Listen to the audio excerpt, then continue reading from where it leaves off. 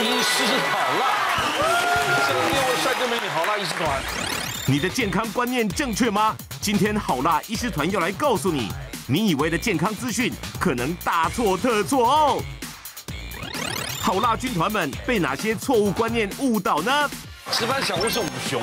大家好，也先恭喜两位美女周静、王凯蒂出新书啊！恭喜恭喜！是很好，我们出了书，然后呢，这是在讲我们。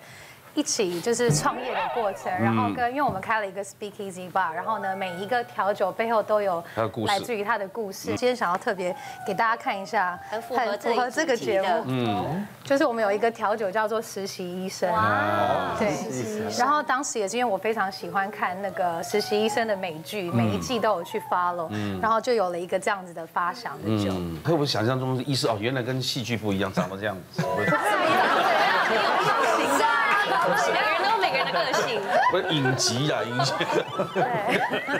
它里面其实有各种不同的故事，还有红楼的《红楼梦》。红楼梦，红楼梦，就是大家就是想要放松的时候，因为这个节目不是都讲健康嘛？那其实如果你就是心情好的话呢，就是身体自然就不会有病痛，所以大家就是适量饮酒，可以小酌一杯。好，欢迎你们，也恭喜你们，谢谢。其实我们现在获得医疗知识啊，嗯，的管道越来越多，四面八方啊。可是这些健康医疗知识到底是正不正确呢？今天大来就要纠正这些观念，哪些是正确的啊？一起看一下。长期吃口服避孕药会导致不孕、恐罹患癌症。你们认为呢？我觉得是哎，是这样。所以我一看到这，我有点惊讶，就嗯，不是这样子吗？周静，你认为？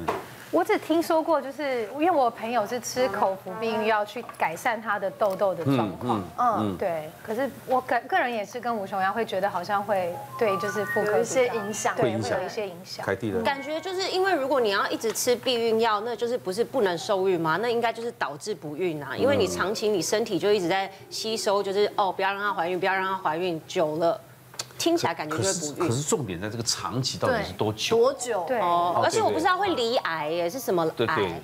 呃，我是听说，听大家说那个前期的避孕药对身体是好的，哎，哥可以调整荷尔蒙啊，皮肤会变好那些。对，很多像多囊性卵巢，嗯，他就会叫你吃这个避孕药。我朋友之前就有跟我讲过这件事，所以他之前很坚决的跟我说，我现在就在吃避孕药调身体，因为我有多囊性卵巢。嗯，然后我心里其实有点紧张，为他紧张下，想说，可是你吃这个不是造成反效果吗？吃久了一定身体会出问题。我们不得不佩服说。这个节目瓜哥真的吸收很多医学知识了哈，马上就可以开一个小班了嘛哈。多囊性卵巢，瓜哥都已经可以知道，多囊性卵巢吃口服药来调经，其实它不只是改善痘痘这些症状，甚至还可以预防以后的这个子宫内膜癌，减少子宫内膜癌，减少以后的糖尿病、心脏病的发生率哈。很意外的是，我见过口必要的发明人，那这个人很可惜，就是他一辈子都没有得诺贝尔奖，为什么你知道吗？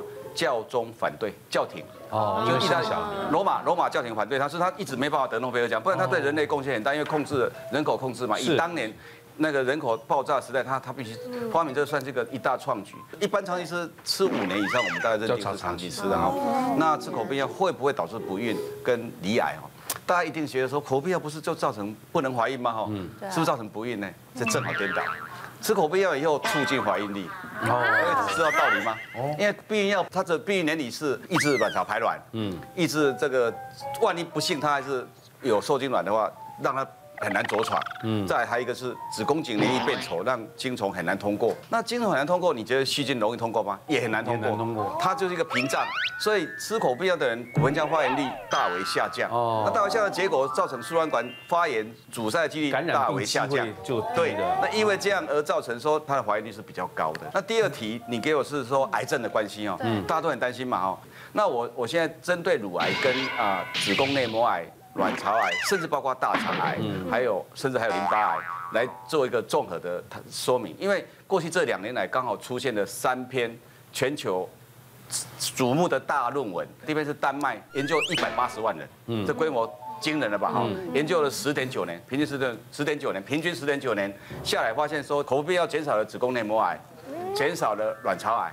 那减少了大肠癌，哇！没想到大肠癌都减少，但是微微增加乳癌，增加多少呢？每十万人增加十三人，就一万人增加一点三人，嗯，万分之一点三呐，那你会觉得很多吗？嗯，还好吧。那接下来美国的一篇论文，研究十万人，人少一点，刚才研究了十五年，嗯，这十五年下来发现说，它也减少卵巢癌，减少内膜癌。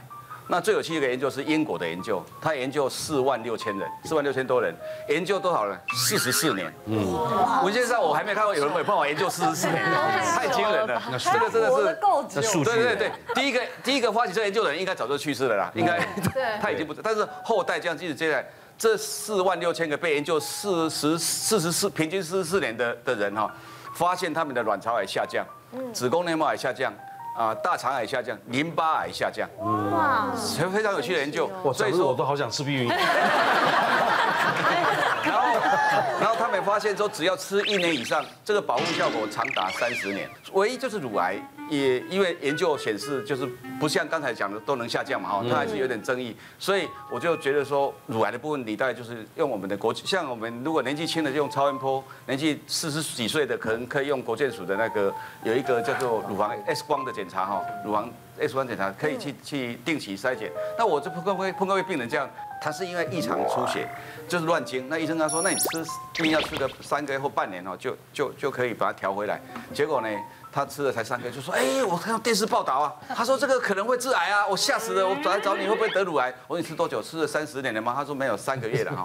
我说我说吃三个月，我说你不要急啦，其实我的病人，我病人真的吃超过二十年的，嗯，没事，他说觉得很好，所以没事，但他定期检查，他真的定检查，所以我不相信说你如果吃三个月、半年，然后发现乳癌是你吃。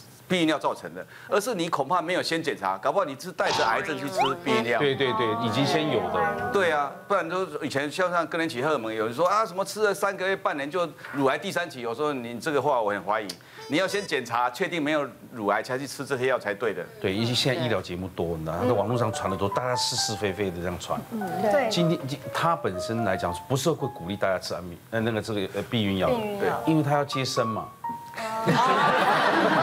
所以他是，所以他是持平在讲这件事情。是这有一点颠覆我的想法，因为其实我之前也有吃过，但我真的是调经片，可是他们是一样的东西。嗯，调经片。调筋跟避孕是一样是算是一样的东西。那为什么叫调经片吃避孕？因为我那时候是为了要调经期啊。你是怕人家误会对不对？不是。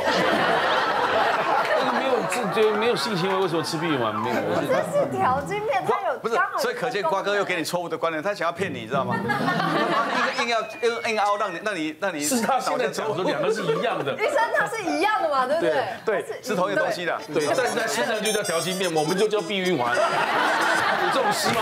真的啊，要带上面是调经片，我就要写避孕丸不行吗？大家相信，大家相信。总之就是调避孕丸有调经的功能啦。对对对。对啦。然后呢？对，我主要是调经，但是他那时候医生也是跟我说，其实吃这个。要做一件事情是最重要的，啊，睡避孕丸吗？不是，要做什么事？是要定期抽血，因为它可能会有血栓的问题。对对对对。其其实避孕药，我刚刚这样想补充一下，就避孕药本身哦，在欧美他们青少年吃最多。其实避孕药，如果你真的四十岁或者将近四十岁吃起来，不见得很适合。为什么你知道？因为常常会发现你有别的问题了。你年纪轻常常没有肝功能问题啊。避孕药是肝肝脏代谢的，所以为什么台湾避孕药当初一直坚持说要处方药，就是认为说怕你乱吃，结果你并不适合吃。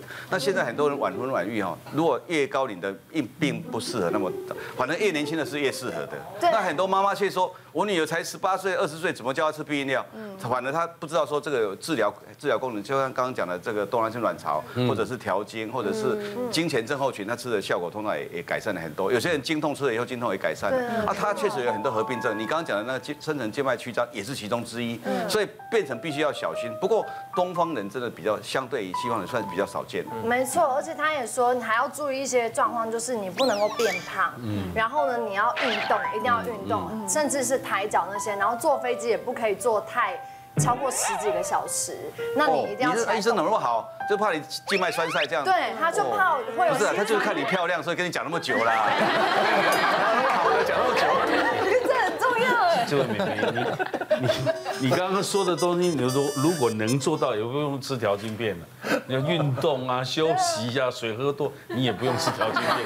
不一样，痛的方式不一样啊。但四十岁左右，如果说你要吃到口服避孕药或调经的话，其实真的是要注意。像我们之前在心脏外科，就真的有收到一个病人，她是四十岁的呃熟龄女子这样子，然后她其实是有长期抽烟的一个一个习惯呐。那她其实是想要吃这个口服的调经药，也就是避孕药，想要避开这个惊喜，因为出国想要去泡温泉这样子，然后。去了也很顺利回来，但下飞机他就觉得左脚开始非常非常胀，然后胀到没有办法走路。他到心脏外科来，他发现说他有个深层的静脉栓塞，就真的形成了血栓。所以后来还动了一个还蛮大的手术，做了一个绕道这样子，才把才把那条血管给救了。这样，所以如果说有三十五岁以上，然后有点肥胖哈，然后有抽烟病史的这种这种习惯的人，女性还是要注意，如果要调经的时候，要经过医师的判断哦，才能够服用这样的避孕药。嗯。